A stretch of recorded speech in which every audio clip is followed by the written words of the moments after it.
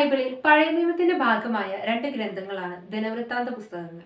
ഷമുവേലിന്റെയും രാജാക്കന്മാരുടെയും പുസ്തകത്തിലെ പല ഭാഗങ്ങളും ഈ പുസ്തകത്തിൽ ആവർത്തിച്ചു വരുന്നുണ്ട്.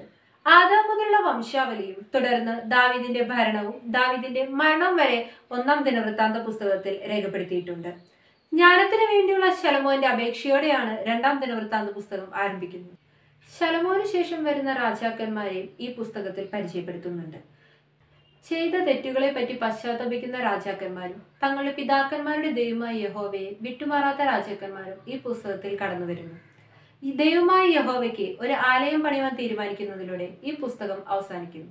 ഈ രണ്ട് പുസ്തകങ്ങളും കോർത്തിണക്കിക്കൊണ്ട് ഒരു കഥ പോലെ നമ്മൾക്ക് മുന്നിൽ എത്തിക്കുന്നത് പൗരസ്ത്യകാലത്തായ സുറിയാനി സഭയിലെ ചേലക്കോട്ടുകര മറപ്രം ചർച്ച് വികാരിയായ ജോസ് വേങ്ങാശ്ശേരി അച്ഛനാണ്. Kuriachira Mar Mari Sliha church women's youth സംഘടിപ്പിക്കുന്ന ഷോർട്ട് ആൻഡ് സ്വീറ്റിന്റെ പുതിയ എപ്പിസോഡിലേക്ക് അച്ഛനെ ഏറ്റവും ആദരവോടെ സ്വാഗതം ചെയ്യുന്നു. മാറി സ്ലിഹ പള്ളി വിമൻ യൂത്ത് അസോസിയേഷന്റെ ആഭിമുഖ്യത്തിൽ നടത്തുന്ന ഷോർട്ട് ആൻഡ് സ്വീറ്റ് എന്ന വേദ പുസ്തക പഠന പരിപാടിയിൽ ഉൽപ്പത്തി മുതലുള്ള പുസ്തകങ്ങളെ കുറിച്ച് നാം കണ്ടു. നാം ഇതുവരെയായിട്ട് രാജകുമാര പുസ്തകം വരേക്കും എത്തിയിട്ടുണ്ട്. ഇന്ന് നാം പഠിക്കുവാൻ പോകുന്നത് ദിനവൃത്താന്ത പുസ്തകത്തിൽ നിന്നാണ്. നമ്മുടെ മലയാള വേദപുസ്തകത്തിലെ ദിനവൃത്താന്ത പുസ്തകം രാജകുമാര പുസ്തകത്തിന് ശേഷമാണ് വരുന്നത് എങ്കിലും എബ്രായ വേദപുസ്തകത്തിൽ ഞാൻ നേരത്തെ ക്ലാസ്സുകളിൽ പറഞ്ഞതുപോലെ അത് വ്യത്യസ്തമായിട്ടാണ് വരുന്നത്.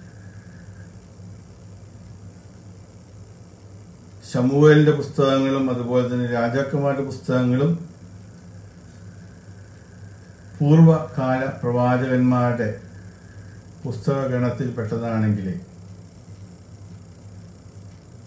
ഈ പുസ്തകം അതിൽ നിന്ന് വ്യത്യസ്തമായിട്ട് എഴുത്തുകൾ എന്ന് പറയുന്ന വിഭാഗത്തിലാണ് പെടുത്തിയിട്ടുള്ളത് മൂന്ന് വിഭാഗങ്ങളുണ്ട് എന്ന് നമുക്കറിയാം. തോറ എന്ന് പറയുന്ന ആദ്യത്തെ അഞ്ച് പുസ്തകങ്ങൾ പിന്നീട് പൂർവകാല പ്രവാചകന്മാർ യോശുവ ന്യായാധിപന്മാർ ശമൂഹലിന്റെ പുസ്തകങ്ങൾ യൂത്തില്ലാതെ രാജാക്കന്മാരുടെ പുസ്തകങ്ങൾ അതാണ് പൂർവകാല പ്രവാചകന്മാർ അതിനുശേഷം പിന്നീട് വരുന്ന പ്രവാചകന്മാരും ആ ഗണത്തിൽപ്പെടും. യഷ്യാവ് യരമ്യാവ് യഹസ്കേൽ പിന്നെ പന്ത്രണ്ട് പ്രവാചകന്മാർ. ദാനിയിലില്ലാതെ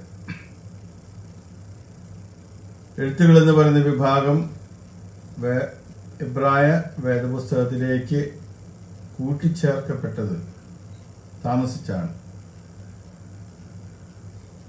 സങ്കീർത്തനങ്ങളൊക്കെ ആ ഗണത്തിൽ വരും.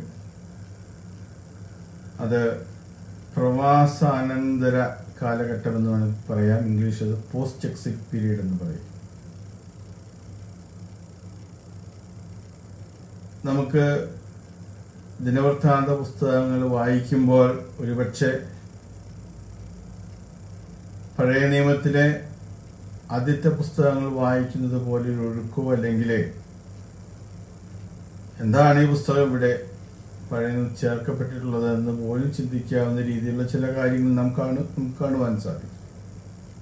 പക്ഷേ ദിനവൃത്താന്ത പുസ്തകം ഉൾക്കൊള്ളണമെങ്കിൽ അന്നത്തെ യഹൂദന്മാരുടെ സാഹചര്യം കൂടെ നമുക്ക് മനസ്സിലാക്കണം. രാജാക്കന്മാരുടെ പുസ്തകത്തിന്റെ അവസാന ഭാഗത്ത് വരുമ്പോൾ അവരുടെ എല്ലാം എല്ലാമായിരുന്ന യെരുശലേം ദേവാലയം നശിപ്പിക്കപ്പെട്ടു. പ്രധാനികളായിട്ടുള്ളവരെല്ലാം ബാബിലോണിലെ പ്രവാസത്തിലേക്ക് അവിടെ കൊണ്ടുപോകപ്പെട്ടു. അവരവിടെ പാർത്തു. സാധാരണ ജനങ്ങൾ നേതൃത്വമില്ലാതെ വലഞ്ഞിരുന്ന ജനങ്ങൾ എരുസലേമിലെ താമസിച്ചു. അവരുടെ വിലാപങ്ങളാണ് നാം വിലാപങ്ങൾ പുസ്തകത്തിൽ കാണുന്നത്. എല്ലാം നഷ്ടപ്പെട്ട്. എല്ലാവരും ചുറ്റും നിറയെ ശവങ്ങൾ എല്ലാം കത്തി അമർന്നു പോയി യരുഷലേം എന്ന് പറയുന്ന ആ ഗ്ലോറിയസ് ആയിട്ടുള്ള മഹത്വമേറിയ നഗരം ഒന്നുമല്ലാത്ത വ്യവസ്ഥയിൽ എത്തിച്ചേർന്നു അതിന്റെ നിരാശകൾ നേടിക്കുന്ന ഒരു പുസ്തകമാണ് വിലാപങ്ങളുടെ പുസ്തകങ്ങളെങ്കിൽ ദേവൃത്താന്ത പുസ്തകങ്ങൾ അതിൽ നിന്ന് വ്യത്യസ്തമാണ്. ഈ നിരാശയുടെ അനുഭവത്തിൽ കൂടെ അവർ കടന്നുപോയി. അവർക്ക് അവരുടെ അസ്തിത്വമായിട്ടെല്ലാം ഉണ്ടായിരുന്ന ദേവാലയം അവരുടെ രാജ്യം അവരുടെ ഭൂമി സമ്പത്തെല്ലാം നഷ്ടപ്പെട്ടു. അവർക്ക് ആകെയുള്ളത് അവരോടുകൂടെ ഒരു ദൈവം ഉണ്ട് എന്നുള്ള വിശ്വാസമായിരുന്നു. ദൈവം ഞങ്ങളോട് എന്തുകൊണ്ട് ഇങ്ങനെ ചെയ്തു എന്നുള്ളത് അവർക്ക് അംഗീകരിക്കുവാൻ സാധിക്കുന്നതായിരുന്നില്ലെങ്കിൽ തന്നെ അവരോടുകൂടെ പുറപ്പെട്ട പുരോഹിതന്മാരും അതുപോലെ എഴുത്തുകാരൊക്കെ അവരോട് പറഞ്ഞു ദൈവം നാം ചെയ്ത തെറ്റിനെ അങ്ങ് ശിക്ഷിക്കുകയാകുന്നെന്ന് പറഞ്ഞ് അവരെ ആശ്വസിപ്പിച്ചു. അങ്ങനെ നിരാശയുടെ കാലഘട്ടം കഴിഞ്ഞുകൊണ്ട് പ്രത്യാശയുള്ള ഒരു കാലഘട്ടത്തിലേക്ക് കടക്കുന്ന ഒരവസ്ഥയിലാണ് ഇതിന് ദിനവൃത്താന്ത പുസ്തകം ക്രോഡീകരിക്കപ്പെട്ടിട്ടുള്ളത്. ക്രോഡീകരിക്കപ്പെടുക എന്ന് പറയുമ്പോൾ അതിന്റെ അർത്ഥം അതിലുള്ള പല കാര്യങ്ങളും പഴയ കാര്യങ്ങളാണ്. പക്ഷേ അതൊരു പ്രത്യേക അവസ്ഥയിലായിരിക്കുന്നവർക്ക് ഒരു വലിയ ദൂത് നൽകുവാനായിട്ടാണ് അത് ക്രോഡീകരിക്കപ്പെട്ടിട്ടുള്ളത് കൂട്ടിച്ചേർക്കപ്പെട്ടിട്ടുള്ളത്.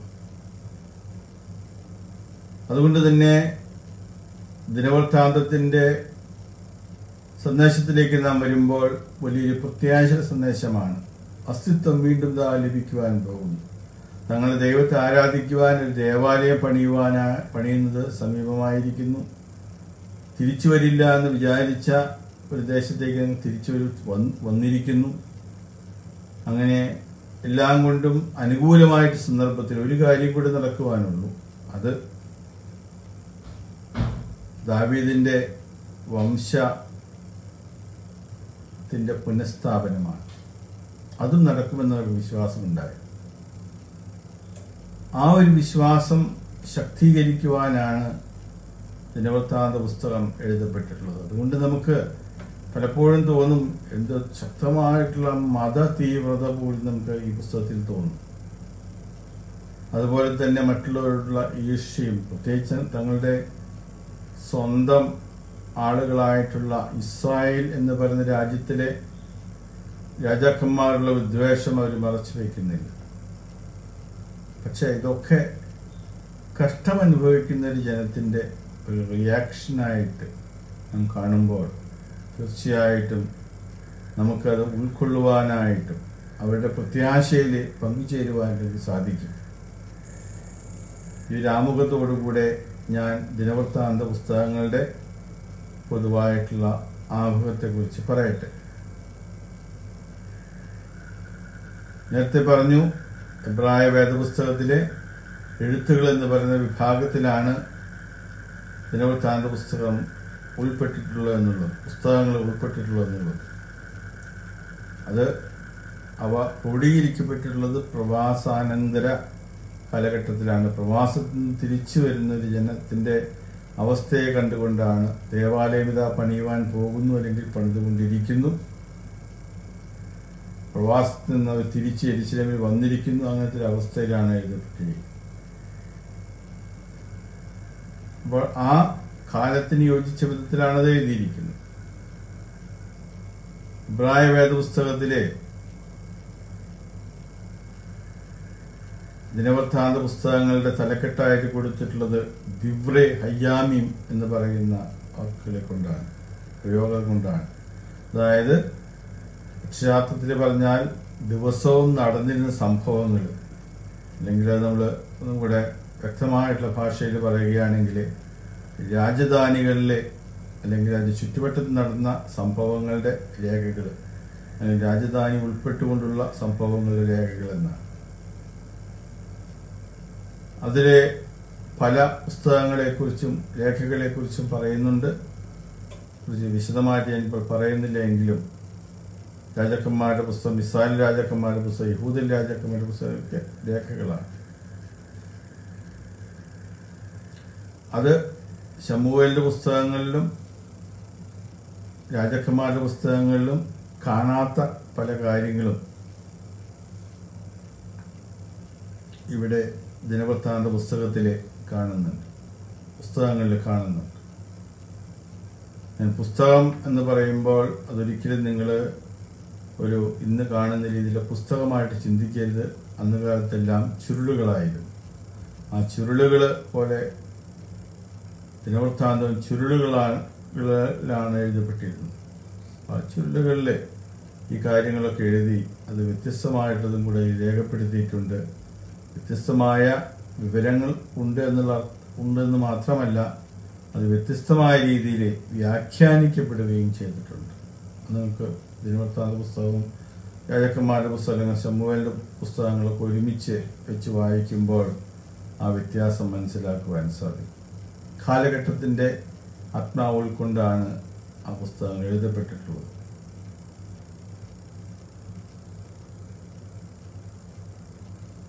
ഈ കാര്യം ഒന്നുകൂടെ വ്യക്തമാകുവാനായിട്ട് ഞാൻ പറയട്ടെ.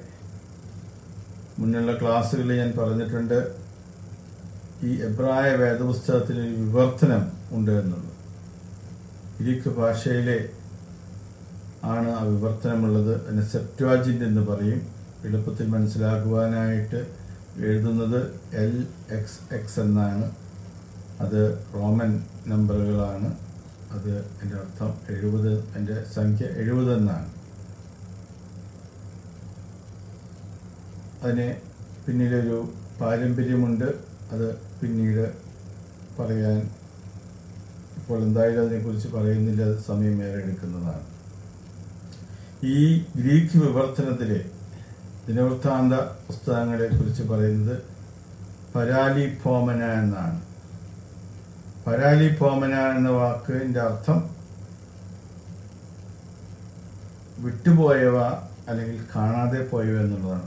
രാജാക്കന്മാരുടെ പുസ്തകത്തിലും ശമുവേലിന്റെ പുസ്തകത്തിലും കാണാതെ പോയിട്ടുള്ളതാണ് വിട്ടുപോയിട്ടുള്ളതാണ് ഇവിടെ ചേർത്തിട്ടുള്ളതെന്നാണ് ഈ വിവർത്തകൻ അർത്ഥമാക്കിയിരിക്കുന്നത്. പലായി പോമന എന്ന് പറയുന്നത് പ്ലൂരലാണ് ബഹുവചനമാണ്. കാരണം രണ്ട് പുസ്തകങ്ങളെ സൂചിപ്പിക്കുന്നതുകൊണ്ട്. പലാലി ഫോമനോൺ എന്നുള്ളതാണ് എന്റെ സിംഗുലർ.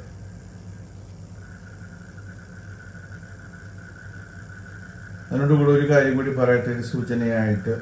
നമ്മുടെ ശമുവേലിന്റെ പുസ്തകത്തിലും രാജാക്കന്മാരുടെ പുസ്തകത്തിലൊക്കെ വളരെ വിശദമായിട്ട് ഉള്ളടക്കത്തെക്കുറിച്ച് പറഞ്ഞു. അതുകൊണ്ട് ഇപ്പോൾ ആ പറഞ്ഞത് ഞാൻ ആവർത്തിക്കുകയില്ല.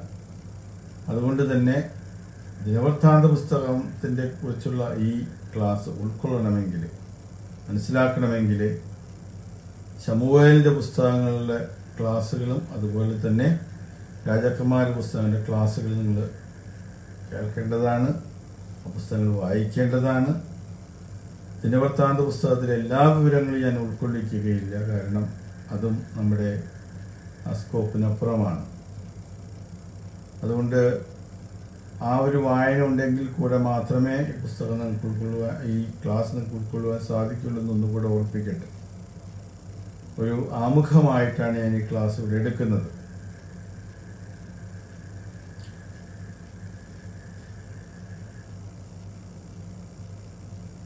അടുത്തൊരു കാര്യം പറയുവാനുള്ളത് രണ്ട് പുസ്തകങ്ങളും ഒരുമിച്ചായിരിക്കും. ഞാൻ മുൻപ് ഓരോ ഓരോ പുസ്തകങ്ങളാണ് ശമുവേലിന്റെ ഒരു ആദ്യത്തെ പുസ്തകം ശമുവേലിന്റെ രണ്ടാം പുസ്തകം രാജാക്കന്മാരുടെ ഒന്നാം പുസ്തകം രാജാക്കന്മാരുടെ രണ്ടാം പുസ്തകം എന്ന രീതിയിലാണ് എടുത്തിട്ടുള്ളത്.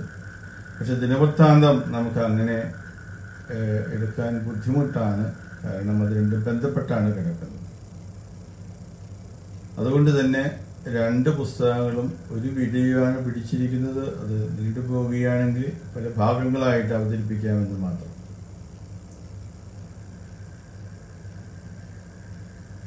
നേരത്തെ തൊട്ട് മുൻപേ പറഞ്ഞതുപോലെ ശമുവേലിന്റെ പുസ്തകങ്ങളിലെയും രാജാക്കന്മാരുടെ പുസ്തകങ്ങളിലെയും കാര്യങ്ങളുടെ ആവർത്തനങ്ങളിലൂടെ കാണുന്നുണ്ടെങ്കിലും ഇത് പക്ഷേ ഒരു വലിയ ഭാഗം അത് വിട്ടുകളഞ്ഞിട്ടുണ്ട്.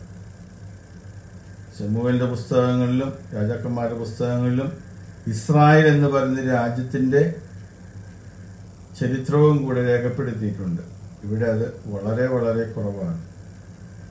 അവരെ ആ രാജ്യത്തെക്കുറിച്ച് പറയുമ്പോൾ വളരെ കുറച്ച് കാര്യങ്ങളെ പറയുന്നുള്ളൂ. രണ്ട് കൂട്ടർക്കും ഒരു ദൈവം ആയിരുന്നു ആരാധിച്ച ഇരുന്നത് എങ്കിലും അവരെ പല ബന്ധങ്ങളുണ്ടായിരുന്നെങ്കിലും ഇവിടെ അത് കാണുന്നില്ല. ഒരു കാരണം ഒരുപക്ഷെ ഇസ്രായേൽ എന്ന് പറയുന്ന രാജ്യം യഹൂദ എന്ന് പറയുന്ന രാജ്യം ഇല്ലാതാകുന്നതിന് മുൻപായിട്ട് തന്നെ ഇല്ലാതായി. പല താമസിച്ചു വരുന്ന പുസ്തകങ്ങൾ ഏഷ്യാവിന്റെ പുസ്തകത്തിലൊക്കെ ഇസ്രായേൽ എന്ന് പറഞ്ഞു കഴിഞ്ഞാൽ അത് യഹൂദ എന്ന് അർത്ഥമാക്കുന്ന രീതിയിലുള്ള വ്യാഖ്യാനങ്ങളുണ്ട്. ഇസ്രായേലിനെ സൂചിപ്പിച്ചിരുന്ന എഫ്രൈം എന്നായിരുന്നു.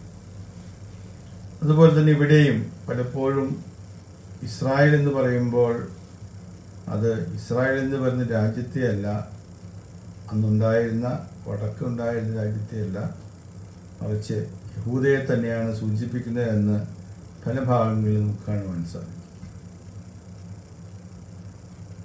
പിന്നെയുള്ളൊരു കാര്യം അന്ന് ഈ യഹൂദന്മാരെ തിരികെ യെരുശലേമിലേക്ക് വന്നപ്പോൾ അവർക്ക് നേരിടേണ്ട ആളുകൾ അവിടെ ശമരിയയിലെ ആളുകളായി.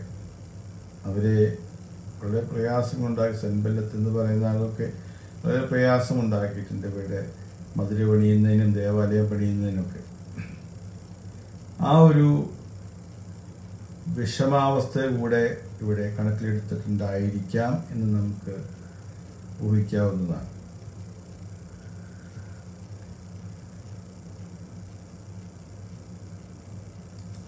നമ്മൾ ദിനവൃത്താന്ത പുസ്തകത്തിലേക്ക് കടക്കുകയാണെങ്കിൽ തന്നെ മൂന്ന് ഭാഗങ്ങളായിട്ട് നമുക്ക് തിരിക്കാം. വളരെ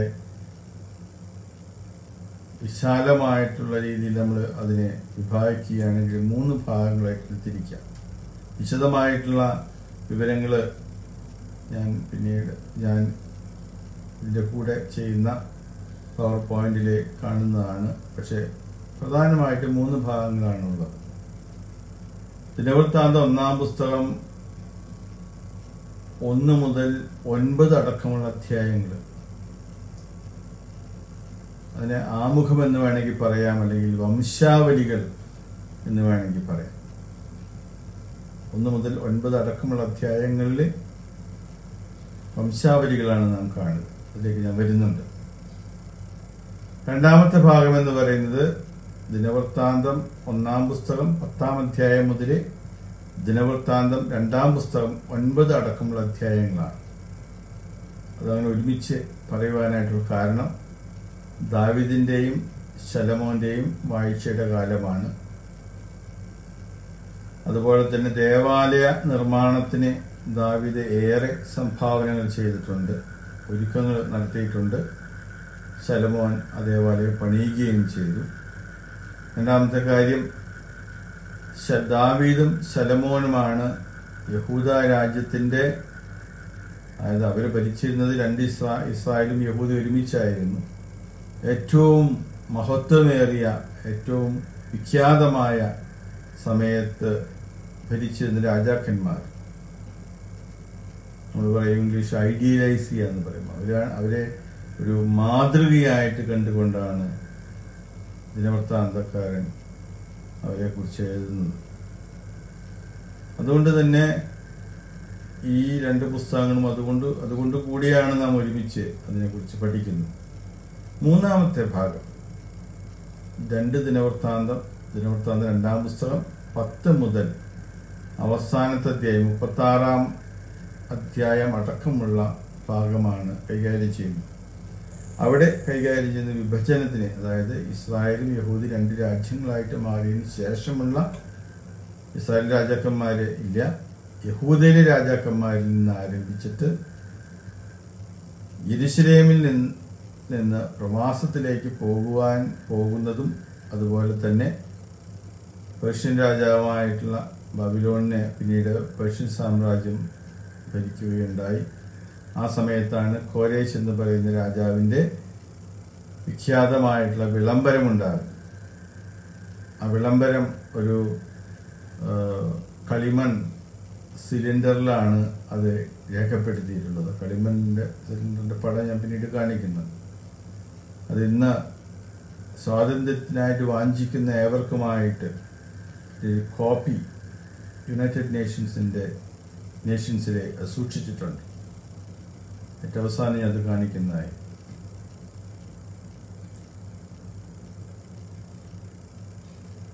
ഇപ്പൊ യഹൂദയുടെ ഒരു ഒരു ചരിത്രമാണ് പ്രധാനമായിട്ടും നാം ദിനവൃത്താന്ത പുസ്തകങ്ങളിൽ കാണുന്നത്. ശമുവേലിന്റെ പുസ്തകങ്ങളിൽ നിന്ന് അതുപോലെ തന്നെ രാജാക്കന്മാരുടെ പുസ്തകത്തിൽ നിന്നും വളരെ വ്യത്യസ്തമായിട്ടൊരു കാഴ്ചപ്പാട് നാം ഇവിടെ കാണുന്നുണ്ട്. അതായത് അവിടെ ഇസ്രായേൽ എന്ന് പറയുന്ന രാജ്യത്തിന്റെ ചരിത്രവും അതുപോലെ തന്നെ യഹൂദ എന്ന് പറയുന്ന രാജ്യത്തിന്റെ ചരിത്രവും അവിടെ കൈകാര്യം ചെയ്യുമ്പോൾ ഇവിടെ യഹൂദയെയാണ് പ്രധാനമായിട്ടും കൈകാര്യം ചെയ്യുന്നത്. അതിന്റെ പശ്ചാത്തലം ഞാൻ നേരത്തെ പറഞ്ഞുവല്ലോ. അവരെ തിരിച്ച് പ്രവാസത്തിൽ നിന്ന് വന്നു. അവരുടെ ചരിത്രമാണ് നാം കാണുന്നത്. അവരാണ് ഇസ്രായേൽ എന്നുള്ള വലിയ വിശ്വാസത്തിൽ മുന്നോട്ട് പോകുന്ന ഒരു ജനത്തിന്റെ വികാരങ്ങൾ ഉൾക്കൊള്ളിച്ചുകൊണ്ടുള്ള കാഴ്ചപ്പാടോടുകൂടിയുള്ള പുസ്തകങ്ങളാണ് ഇവിടെ രചിക്കപ്പെട്ടിട്ടുള്ളത്. ഇനി ഒന്നാമത്തെ ഭാഗത്തെക്കുറിച്ച് പറയുകയാണെങ്കിൽ രാമുഖം പറയുകയാണെങ്കിൽ ആദാം മുതലാണ് വംശാവലി ആരംഭിക്കുന്നത്. നമുക്കറിയാം ഉൽപ്പത്തി പുസ്തകത്തിലാണ് ആദാമിനെ കുറിച്ച് പറയുന്നത്. അപ്പോൾ മനുഷ്യ വംശത്തിന്റെ ആരംഭം കുറി കുറിക്കുന്ന ആ സമയം മുതലുള്ള വംശാവലി നാം ഇവിടെ കാണുന്നുണ്ട്. അത് വളരെ പെട്ടെന്ന് തന്നെ പൂർവപിതാവായിട്ടുള്ള അബ്രഹാമിലേക്ക് എത്തിച്ചേരുന്നുണ്ട്. അത് പിന്നീട് വേഗത്തിൽ ഇസ്രായേലിലെ ഗോത്രങ്ങളുടെ വംശാവലിയിൽ എത്തിച്ചേരുന്നുണ്ട്. പന്ത്രണ്ട് ഗോത്രങ്ങളാണ് നമുക്ക് ഗോത്രങ്ങളാണ് നമുക്കറിയാം. പന്ത്രണ്ട് ഗോത്രങ്ങളെ കുറിച്ച് പറയുന്നുണ്ടെങ്കിലും അവിടെ ഏറ്റവും പ്രാമുഖ്യത്തോടുകൂടെ കൈകാര്യം ചെയ്യുന്നത് യഹൂദ ഗോത്രത്തിലാണ്. ആ യഹൂദ ഗോത്രത്തെ കുറിച്ച് പറഞ്ഞു കഴിഞ്ഞാൽ ഉടനെ വരുന്നത് ദാവീദിന്റെ ഗൃഹത്തെ കുറിച്ചാണ് ദാവീദിന്റെ വംശാവലിയെ കുറിച്ചാണ് അവിടെ നിന്ന് ഈ വംശാവലി ദാവീദിന്റെ വംശം അവസാനിക്കുന്നത് നമുക്കറിയാം ചരിത്രത്തിൽ യഹോയാക്കീൻ രാജാവിനെ പിടിച്ചു കൊണ്ടുപോവുകയും ബാബിലേക്ക് പിടിച്ചുകൊണ്ടുപോവുകയും അതുപോലെ സിദക്കിയാവ് രാജാവിനെ കൊല്ലുകയും ചെയ്ത സമയത്ത് രാജ്യ ഭരണത്തിനുള്ള ആ അവകാശം അവർക്ക് നഷ്ടപ്പെട്ടു. പക്ഷേ വംശാവലി ദിനവൃത്താന്ത പുസ്തകത്തിലും തുടർന്നു പോകുന്നുണ്ട്.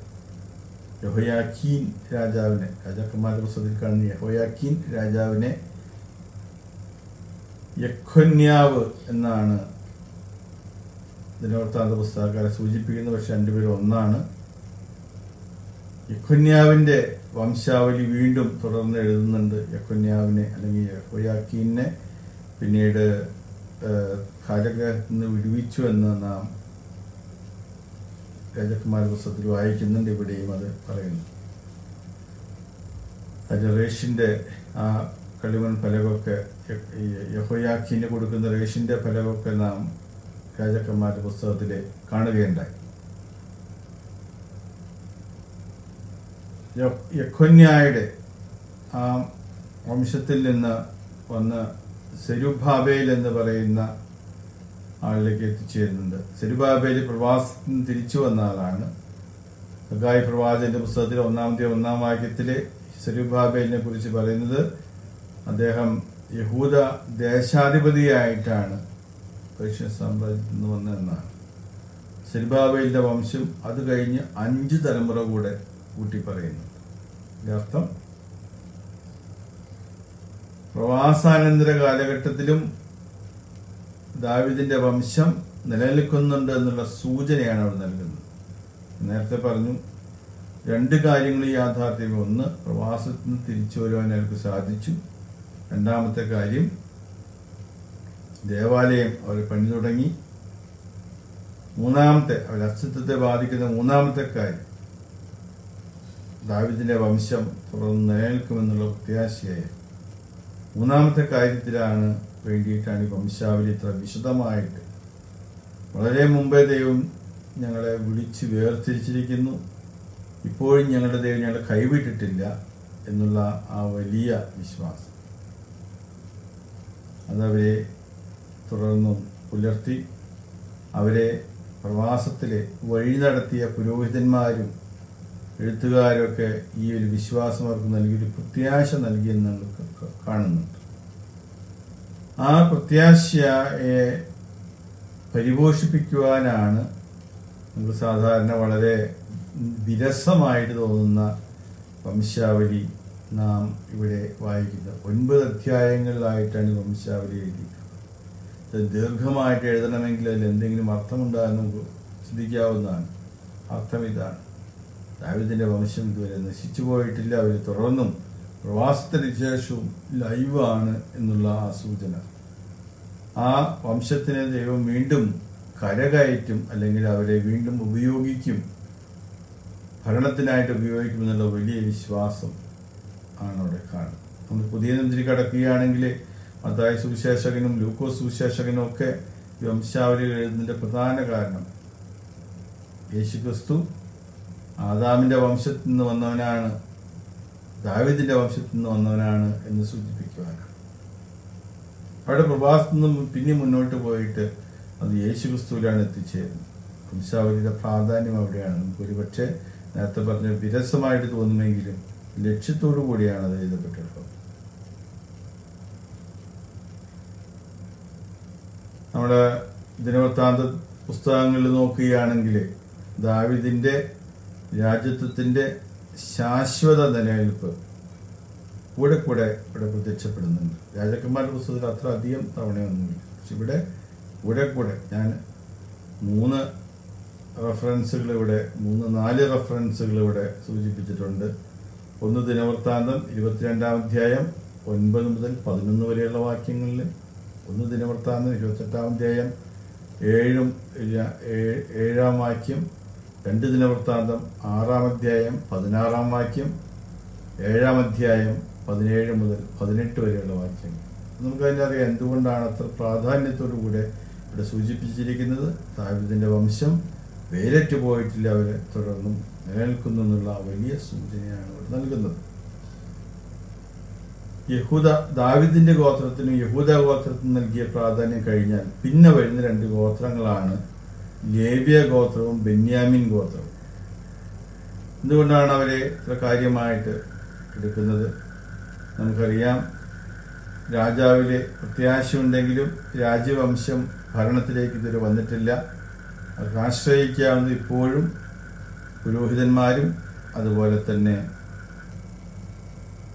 ലേവ്യക്കാരുമാണ് ലേവ്യരുമാണ്. അതുകൊണ്ട് തന്നെ അവരുടെ ആ അസ്തിത്വത്തിന്റെ ഭാഗമായിട്ട് പുരോഹിതന്മാര് അവരുടെ വിശ്വാസത്തിന്റെ ഭാഗമായിട്ട് പുരോഹിതന്മാർ വന്ന സമയത്ത് ലേവ്യഗോത്രത്തിനെ കൊടുത്തിരിക്കുന്ന പ്രാധാന്യം നമുക്കൊട്ടും കുറച്ച് കാണുവാൻ സാധിക്കുകയില്ല. അതുപോലെ തന്നെ ബെന്യാമിൻ ഗോത്രവും ലേവ്യ ഗോത്രവുമാണ് ദാവീദ് രാജാവായപ്പോൾ ഏറ്റവും കൂടുതൽ അവനെ ദാവീദ് രാജാവിനെ പിന്തുണച്ചു അതിന്റെ കൂറ് പുലർത്തിയിരുന്നു. അതുകൊണ്ട് ഈ രണ്ട് ഗോത്രങ്ങൾക്കുള്ള പ്രാധാന്യം മറ്റ് ഗോത്രങ്ങൾക്ക് കൊടുത്തിട്ടില്ലെന്ന് കാണുവാൻ സാധിക്കും. ഒരു കാര്യം പറയാനുള്ളത്. ബെന്യാമിൻ ഗോത്രത്തിൽപ്പെട്ടവനാണ് ആയിരുന്നു ഷൗൽ രാജാവ്. പക്ഷേ ഷൗൽ രാജാവ് എന്ന് സൂചിപ്പിക്കാതെ അപ്പന്റെ പേരും ഷൗലിന്റെ പേരും പറഞ്ഞ് അങ്ങനെ അവസാനിപ്പിക്കുകയാണ്. പിന്നീട് പത്താം അധ്യായത്തിലാണ് ഷൗലിന്റെ മരണം മുതൽ ദാവിദിന്റെ ഉയർച്ചയുടെ ആ പരമ്പര ആരംഭിക്കുന്നത്. അപ്പോഴും ശൗൽ രാജാവിന് ദാവീദിന്റെ ദാവീദ് രാജാവാകുന്നതിനുള്ള പടി തുറന്നിടുന്ന അല്ലെങ്കിൽ ആ ഭാഗം തുറന്നിടുന്ന ഒരവസ്ഥ മാത്രമേ ശൗൽ രാജാവിനുള്ളൂ. പ്രാധാന്യം അവന് കൊടുത്തില്ല ബെന്യാമിൻ ഗോത്രത്തിൽപ്പെട്ടവനാണെങ്കിൽ കൂടെ.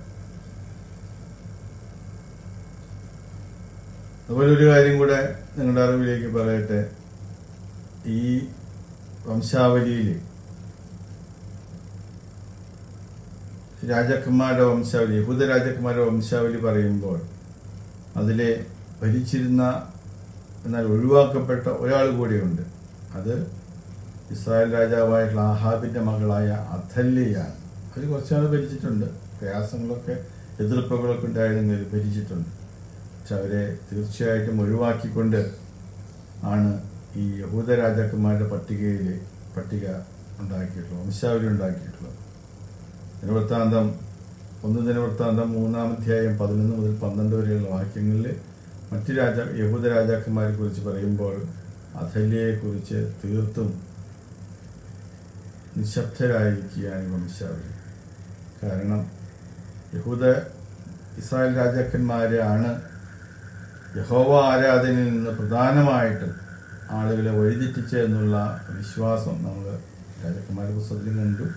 ഇവിടെ നിയമവൃത്താന്ത പുസ്തകത്തിലും രൂഢമൂലമായിട്ടുള്ളത് അവരാണ് പൂജാഗിരികളിൽ ആരാധിച്ചത്. അവരാണ് മറ്റ് അന്യദേവന്മാരെ ആരാധിച്ചതെന്നൊക്കെ ഉള്ള ആരോപണങ്ങൾ നാം ഇവിടെയും കാണുന്നുണ്ട്. ഇസ്രായേൽ രാജാവിന്റെ കൂടെ യഹൂദ രാജാവ് ചേർന്ന് കഴിഞ്ഞാൽ അവനെ നാശത്തിലേക്ക് അത് വഴിതെളിയിക്കുന്ന ഒരു സംഗതിയായിട്ട് മാറുമെന്നുള്ള വ്യാഖ്യാനവും നാം പിന്നീട് വരുന്ന രാജാക്കന്മാരിൽ കാണുന്നുണ്ട്.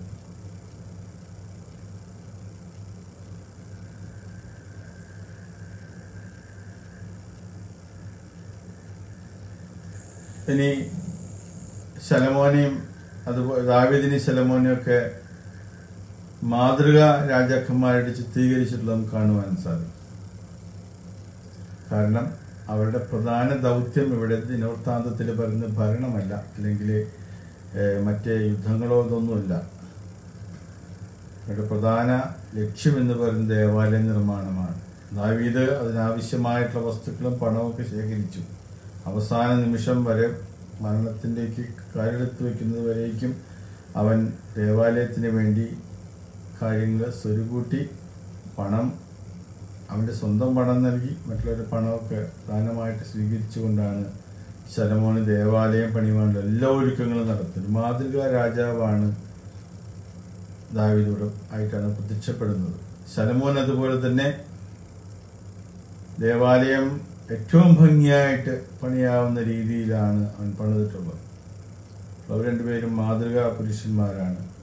അതുകൊണ്ട് തന്നെ ദാവീദിന്റെ പല വഴിവിട്ട ബന്ധങ്ങളും അല്ലെങ്കിൽ അവന്റെ പല യുദ്ധങ്ങളെക്കുറിച്ച് പോലും അല്ലെങ്കിൽ അവൻ ഇസ്രായേൽ ശൗൽ രാജാവായിട്ട് ഇസ്രായേലിന്റെ മകനോട് ചെയ്ത നന്മ പോലും ഇവിടെ ഒഴിവാക്കിയിട്ടുള്ളത് കാണുവാൻ സാധിക്കും.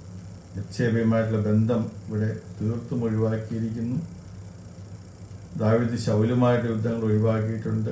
ശൗലിന്റെ മകനെ ദാവിദ് സ്വീകരിച്ചത് ഒഴിവാക്കിയിട്ടുണ്ട്. മാത്രമല്ല ശലമോനെ കുറിച്ച് പറയുമ്പോൾ രാജകുമാര പുസ്തകത്തിൽ പറഞ്ഞവൻ അനേകം ഭാര്യമാരുണ്ട് അത് അവനെ വഴിതെറ്റിച്ചു എന്ന് പറയുന്നത് ഇവിടെ കാണുന്നേയില്ല. അതുപോലെ തന്നെ ശലമോൻ രാജാവാകുവാനായിട്ട് ചെയ്ത ശ്രമങ്ങൾ കുറെ കലഹങ്ങൾ രാജകുമാര പുസ്തകത്തിൽ നാം കാണുന്നുണ്ട്. ഇവിടെ അത് കാണുന്നില്ല. ദാവീദ് പറഞ്ഞു ശലമൻ രാജാവായി വേറെ ആരും ചോദ്യം ചെയ്തിട്ടില്ല. അങ്ങനത്തെ ഒരു ഒരു മാതൃകാ പുരുഷനായി പുരുഷന്മാരായിട്ടാണ് ദാവീദിനെയും ശലമോനെയുടെ ചിത്രീകരിച്ചിരിക്കുന്നത്. അതുപോലെ തന്നെ യഹൂദ രാജാക്കന്മാരെ വിലയിരുത്തുന്നതും ഇതിന്റെ അടിസ്ഥാനത്തിലാണ്. അവർ ദേവാലയ പുനരുദ്ധാരണത്തിന് അല്ലെങ്കിൽ അതിന്റെ റിപ്പയറിന് അല്ലെങ്കിൽ അതിന്റെ അതിലെ ശരിയായിട്ടുള്ള രീതിയിൽ യഹോവാരാധന നടക്കുന്നെന്ന് ഉറപ്പാക്കുന്നു.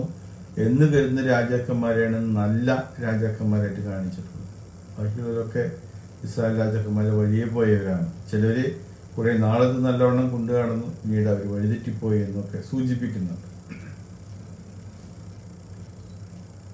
ഇതൊക്കെ സൂചിപ്പിക്കുന്നത് പ്രവാസാനന്തര കാലഘട്ടത്തിലെ പോസ്റ്റ് എക്സിലിക് പീരീഡിൽ ദേവാലയ നിർമ്മാണത്തിനുണ്ടായ താല്പര്യമാണ് ഇവിടെ ഇവിടെ നമ്മൾ കാണുന്നത്.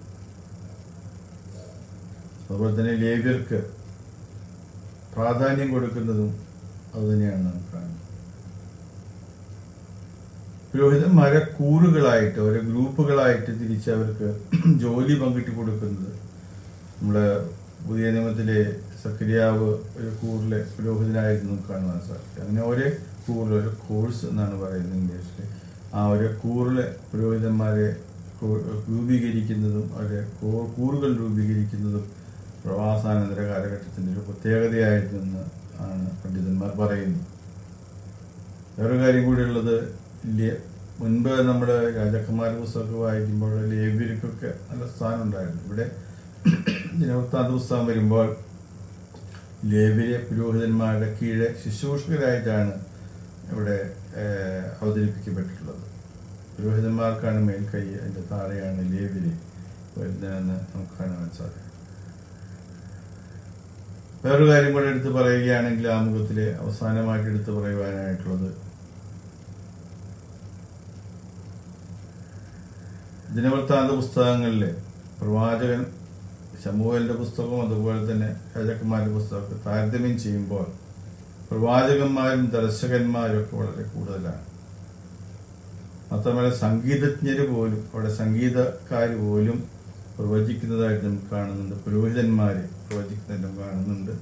യഹോയാദ പുരോഹിതന്റെ മകൻ പ്രവചിക്കുന്നതായിട്ട് നമുക്ക് കാണുന്നുണ്ട്. അങ്ങനെ പ്രവാചകന്മാർക്കും ദേവാലയവുമായിട്ട് ബന്ധപ്പെട്ട എല്ലാവർക്കും വളരെ പ്രധാനപ്പെട്ട ഒരു സ്ഥാനം നൽകുന്നതായിട്ട് കാണുന്നു. എഴുത്തുകൾ എന്ന വിഭാഗത്തിൽപ്പെട്ട ദിനവൃത്താന്ത പുസ്തകത്തെ നാം മൂന്ന് ഭാഗങ്ങളായി തിരിച്ചു. അതിലെ ആദ്യ എപ്പിസോഡ് നാം ഇപ്പോൾ കേട്ടു. നിരാശയിൽ ജീവിക്കുന്നവർക്ക് പ്രത്യാശ പകരുന്ന പുരോഹിതരെയും പ്രവാസകാലത്ത് പുരോഹിതന്മാർക്കുള്ള പ്രാധാന്യം വളരെ ലളിതമായി ജോസച്ചൻ നമുക്ക് പറഞ്ഞു തന്നു. അതിനോടുള്ള നന്ദി. കുരിയച്ചിറം Mar Mari Sliha church women's youth association അറിയിക്കുന്നു. ഷോർട്ട് ആൻഡ് സ്വീറ്റിന്റെ അടുത്ത എപ്പിസോഡിലേക്ക് എല്ലാവരും സ്വാഗതം ചെയ്തുകൊണ്ട് നിർത്തുന്നു. നന്ദി.